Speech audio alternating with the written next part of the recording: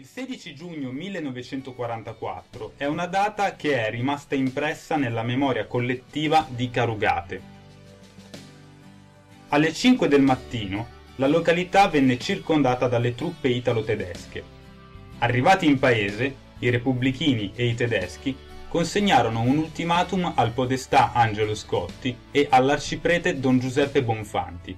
Tra i soldati giunti a Carugate quel giorno era presente anche Pietro Koch, un ufficiale di polizia politica italiano che a capo dell'omonima banda Koch si distinse per i metodi violenti, basati anche sulla tortura, contro partigiani e antifascisti.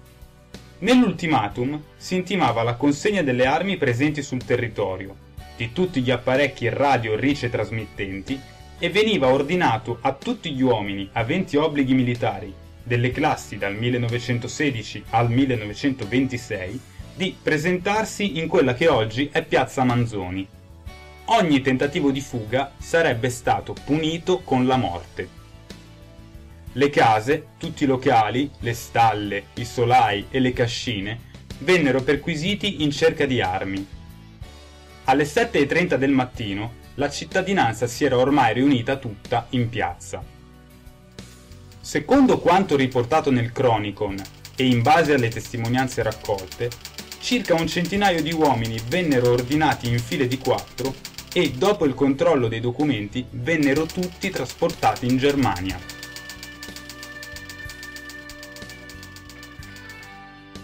Sono venuti, son venuti i soldati di qua perché nelle vie erano uno e uno, un tedesco e un italiano, che venivano a fare il rastrellamento, vero rastrellamento, casa per casa quando sono arrivati qui mi hanno trovato e mi hanno detto vai in piazza, in piazza Manzoni, là aspettare, tanto lì alla croceria ho visto che c'era il coc. Io avevo 11 anni e mezzo, non è che sappia molto, però um, eh, ci siamo svegliati il mattino con un po' di baccano, un po', e allora c'era un cortile qui davanti, e, con i portici. E, poi si, sentite, si sono sentiti anche degli spari. Hanno obbligato tutti, tutti i ragazzi, perché allora erano ragazzi, dal 25 al 20 di portarsi tutti in piazza proprio qui sfilati. Quello lì ho in mente bene di aver visto le file di, di questi, perché un centinaio insomma fanno un gruppo, fanno un numero. Che abbiamo sentito tutta la musica, mm? sono alzata dal letto, mm? tutti insieme in famiglia, siamo andati via alla porta no, a vedere, e in piazza c'era una banca con tutti i tedeschi e anche i repubblichini con, armati no, con i fucili mm. che giravano no? e chiamavano tutti ad andare in piazza. Allora nessuno, c'era nessuno e c'era l'arciprete mm. Don Bonfanti, è andato lì che stava facendo la messa ma dice che lui non sapeva Quando niente. No? si è cominciato a mettersi in fila, è successo che il COC, che è andato sopra il municipio, ha buttato giù le bandiere perché erano ancora quelle del re nel, nel periodo regio.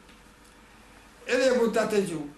E ha preso la, Scotti che era podestà della zona, del paese e ha cominciato a ridarguirlo per dirgli stai attenti che se troviamo qualcosa il muro è già pronto. Lì, dopo è venuto fuori il prete che stava celebrando la messa e ha parlato anche lui con Koch. Ha detto, qui cosa faccio? E devo celebrare la messa come la faccio tutti i giorni. E quello là indispettito dice, ehi, vada pure a fare la messa. E lui è andato. Celebrava la messa e chissà chissà con che cuore celebrava messa. Insomma, per evitare magari qualche ragazzotto si era nascosto anche dentro lì. Allora continuava, la messa anche la, la mattina lì la finiva mai, perché lui aveva a cuore tutti questi ragazzi, più magari dall'oratorio. Lui, lui Don Giuseppe, Don Giuseppe Mariani che eh, ha fatto molto per la resistenza, sempre tra le quinte, lui aveva il permesso anche dal cardinale, mm. poteva cambiarsi l'abito, ah. che una volta i sacerdoti avevano tutti la talare, Dice lui aveva il permesso del, del cardinale che allora c'era Schuster. E dopo eh, sono venuti e giravano tutti i repubblichini, andavano in giro a vedere se c'erano dei giovani in giro, no? nascosti. No? Anche mio papà, anche lui è dovuto andare credo, in piazza in giro, perché tutti loro dovevano andare tutti in piazza. Mm-hmm.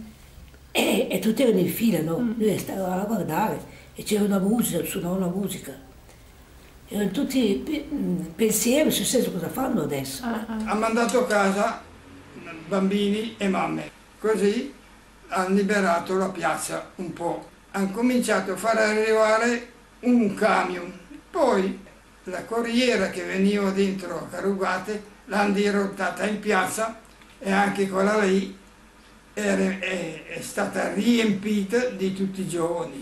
E insomma a un certo punto quando hanno visto che uno, due tre hanno fatto il pieno, allora hanno cominciato via a Monza.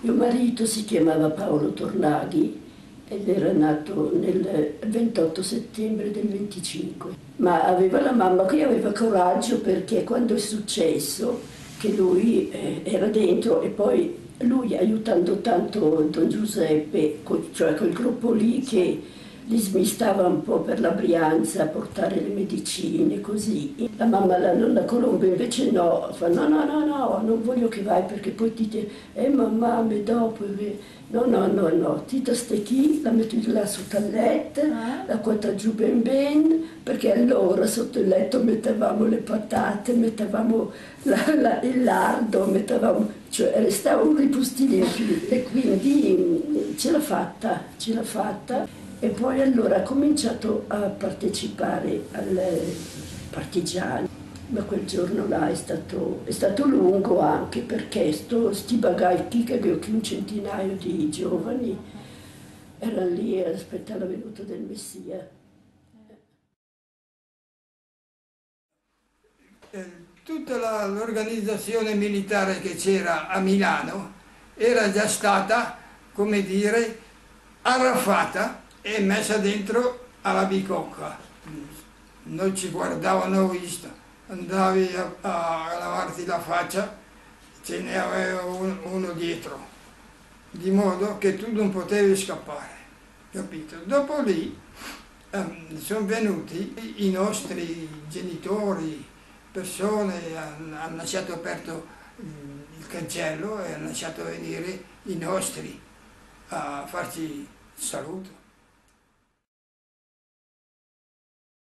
Eh, appunto, perché, almeno così diceva il papà, perché c'era la Radio Londra e loro erano collegati a Radio Londra per il teatro. E, mm, lì probabilmente c'è stata qualche soffiata. Perché dicevano che, che Carugate c'erano delle armi e se trovavano bruciavano il paese. Mm. Eh, c'erano veramente, eh, eh. erano lì dove c'era la croce, una, eh. una cisterna e c'erano delle armi, non lo sapevamo quelle cose lì. Eh. E dicevano che è stata una spia, eh. spia di Carugate, e hanno, hanno detto, pensato. Mio marito, quando è, venuto, è arrivato il 25 aprile, è stato messo là a guardia con altri a suoi amici controllare un po' il movimento dei tedeschi, però non avevano l'ordine di, né di sparare né di fare del male, loro dovevano solo controllare i movimenti di, di questi soldati. Quando poi hanno visto che diventavano in pochi e poi ehm, non è che non avevano voglia di fare del male, oltretutto avevano ordini precisi, dovevano solo rispondere se venivano attaccati, ma non...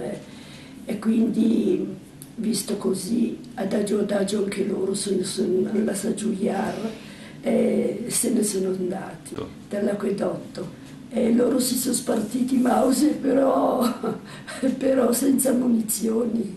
L'ho detto tante volte a mio marito, ma Butal non c'è niente, non è che puoi usarlo. No, no, no, per me mi ricordo.